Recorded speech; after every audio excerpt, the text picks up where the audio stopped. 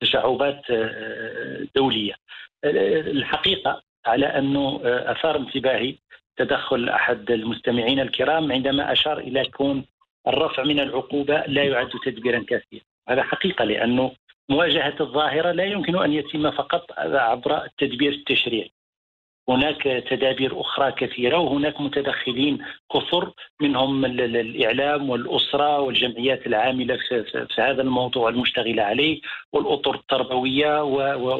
والجهات المتعلقة بإنفاذ القانون بمعنى أن هناك متدخلين متعددين لكن هذا لا يعني على أن التدبير التشريعي في حد ذاته يعتبر ثانويا بل بالعكس تدخل المشرع المغربي ربما جاء متأخرا بعض الشيء لأن التفكير في رفع العقوبات وفي تحويل هذا النوع من الجرائم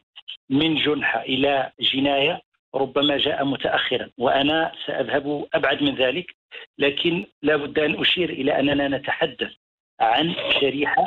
آه، تعاني آه، هي أولى بالحماية لأنها تعاني ضعفا ضعفا نفسيا يجعلها آه، عرضة لاستغلال هؤلاء المجرمين وهؤلاء هذه الشبكات الإجرامية التي تبتكر طرق متعددة لاستقطابهم ولتوظيفهم أيضا. هذه الشريحة التي تعتبر بالنسبة لنا شريحة مهمة جدا في المجتمع شريحة الشباب والقاصرين والأطفال عموما من الصعب القول على أن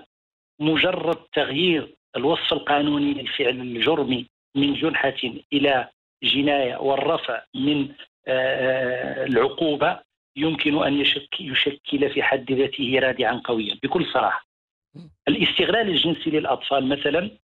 نتعامل معه في إطار ما يسمى بالاتجار في البشر وأعتقد على أنه حتى ترويج المخدرات في محيط المدارس داخل المدارس وتوجيهها لهذه الشريحة شريحة الأطفال والقاصرين لا يقل خطورة عن الجرائم التي تدخل في إطار الاتجار بالبشر.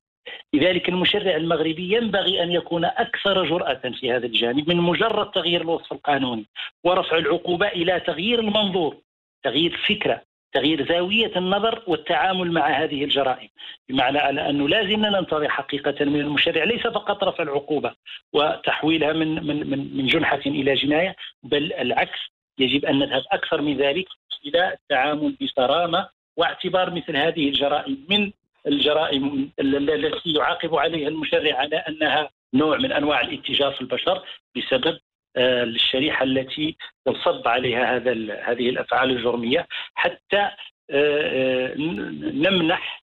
السلطات المتعلقة بإنفاذ أو المسؤولة عن إنفاذ القانون نمنحها وسائل أكثر لمواجهة هذه